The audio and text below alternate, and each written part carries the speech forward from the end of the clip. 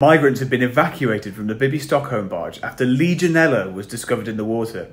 This doesn't really measure up with what the safeguarding minister told us about the barge a few days ago. It's a safe place for people to, to live and stay. And let's just be, it's a very complex situation. Let's just be clear that the government is determined to use barges such as this one to make sure that we have somewhere which is proper, but rudimentary, but proper accommodation for migrants. What a difference a week can make in politics.